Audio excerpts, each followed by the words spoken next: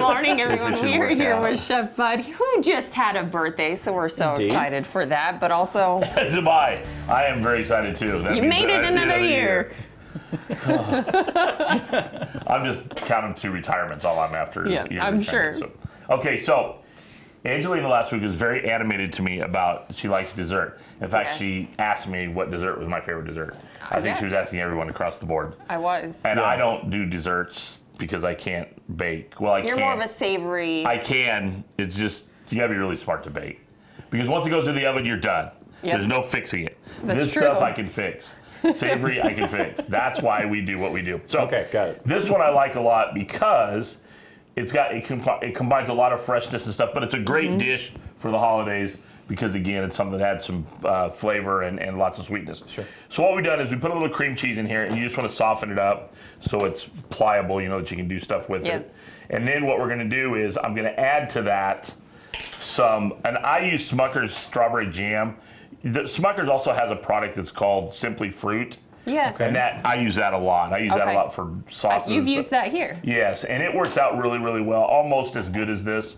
Um, I think it gives you kind of a uh, a different a different feel because it is just fruit. But if you just fold this and kind of just combine this, what this is going to be is this is going to be the stuffing that goes inside of our French toast. Okay. my. now, um, once you get it to a point like it is right now, you can add. that We're just going to fold in some straw regular strawberries with some of the juice from the strawberries. Okay. Oh my So goodness. the thing about it is, is these now I, I want really want, I really want, want people to understand this at home. These strawberries are not sweetened, so there's no like Added sugar sugar. or Super anything. in it. sugary. Okay. Because what we're doing is we're using the sweetness from the uh, jam, and uh, that's which is fun. that's actually why the jam's better than using the simply fruit Okay. Because it because has the there's sugar. sugar. element to it. Okay? Okay.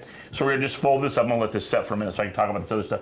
Um, and it'll let that cream cheese get a little bit softer. Okay, so you got a lot of kinds of options when it comes to bread. Okay, and bread is probably the key element to this uh, Mm-hmm. Sure. little dish. Okay, but what I'm using today is a jalapeno bread from Rotella's. Okay. See what we're doing here? Mm-hmm. Yeah. So the other thing I want you to understand about it, it's real thick. So this is actually it's not quite as thick as French toast, but it's a lot denser than French Yeah. toast. Okay. Or I'm sorry, not Like a French- Texas toast? Texas toast. Okay. Yes. That's how I refer to Texas toast as French toast. Not really, but it's early in the We'll morning. go so with it, anyway, yeah.